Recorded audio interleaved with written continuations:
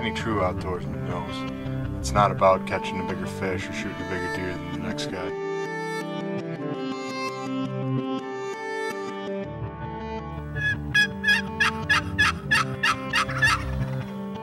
It's about being out there, being fortunate enough to witness another sunrise.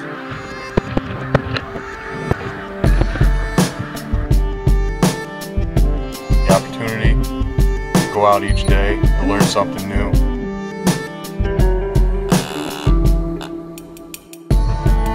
About making memories and passing on a tradition.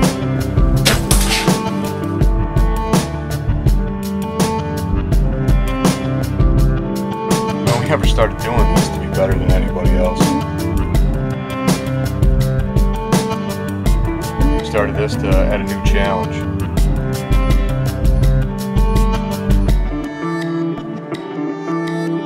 We're just a group of friends with a lifelong passion for the outdoors.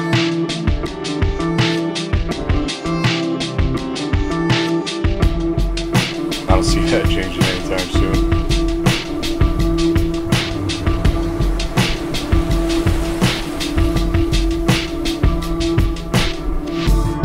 We're Paradigm Outdoors.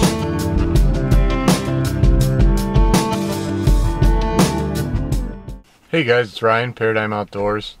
Um, here we are. It's the second or first week. Sorry, first week of March here in upstate New York, and woke up this morning, negative ten. Negative ten.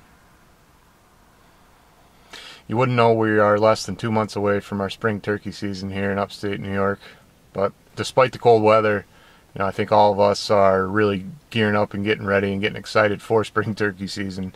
Um, one thing I look forward to every year is hooking up with my buddy Kevin and going on his property. Um, I've been fortunate enough to go up there and hunt with him for, gosh, past I would say six, maybe eight years. Um, and it's just one of those places like you can be lazy and not have to scout these birds, not have to roost them and put them to bed at night. Um, you can just walk up in there and hunt and usually fire up turkey. So it's it's a it's a honey hole.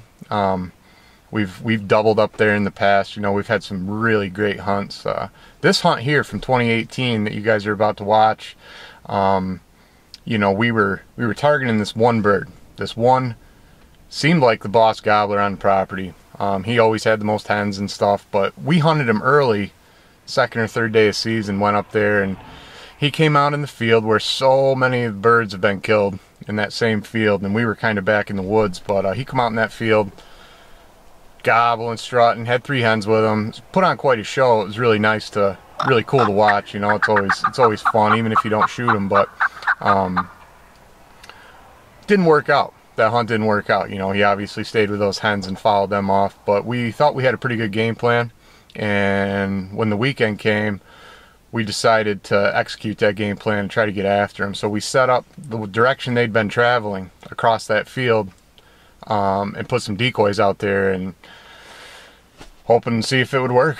If those decoys worked their magic, and uh, if we could sweet talk him into the decoys. And that morning when we were when we walked up and through there, sure enough, that bird was roosted right where we thought he was gonna, right where he had been, and the game plan began to get put into play. So, what you guys are about to watch, I hope you enjoy it, and. Uh, another great hunt up at my buddy Kevin's.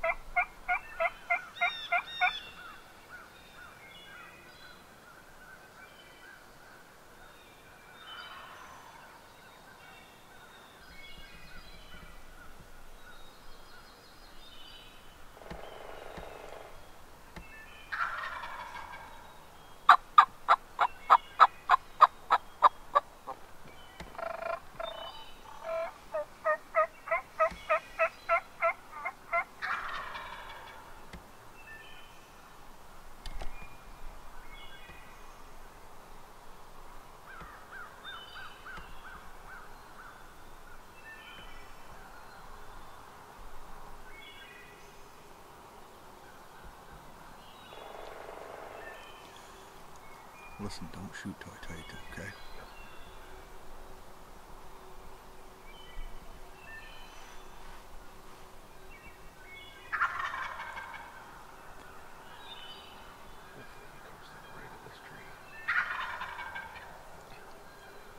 Held by himself. He's walking right this way.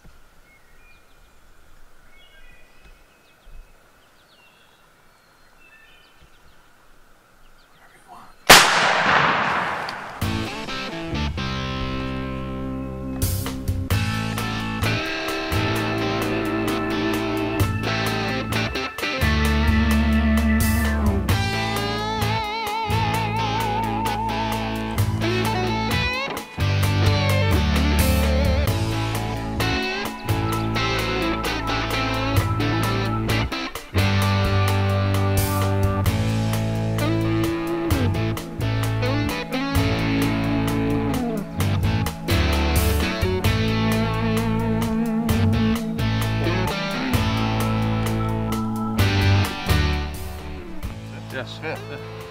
Fifth. We chased this bird opening day, and uh, he was locked up with three hens, but came back Saturday morning, put some decoys out.